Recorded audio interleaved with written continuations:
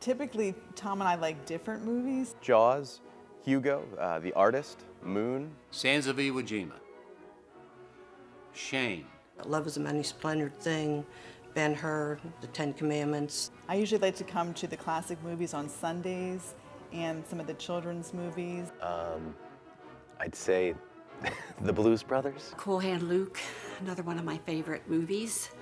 Um, Casablanca. Uh, Shaun of the Dead, uh, Evil Dead 2, obviously, uh, Phantom of the Paradise, um, and The Convent, believe it or not.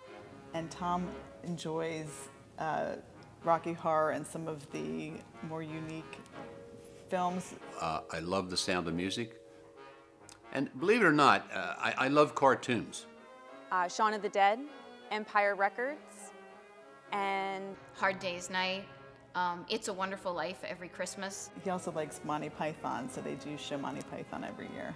Which you can't see any other place. I love Shawshank Redemption. I love watching The Blob here at the Colonial and people scream and holler. I love watching Rocky Horror Picture Show when they bring it back. From Here to Eternity, Gone with the Wind, uh, Women's Prison Massacre, Killer Fish, Zombie, uh, What Have You Done to Solange, The Beyond. That's some. I'm sure there are more. We've seen White Christmas, which was great. We've seen um, Beach Blanket Bingo, one of my favorites. yeah. Our first date was here at the Colonial Theater, seeing the movie Moby Dick. There's just no substitute for seeing a movie. I don't care how big your TVs are getting in your home. You're in a theater. There's other people around you. People are laughing around you. People are crying around you.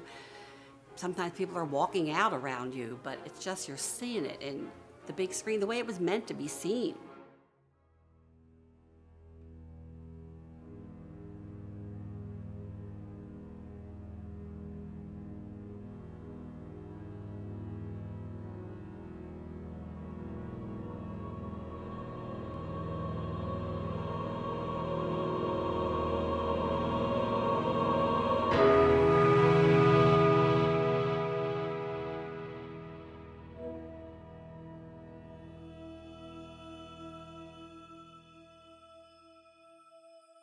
Love that film.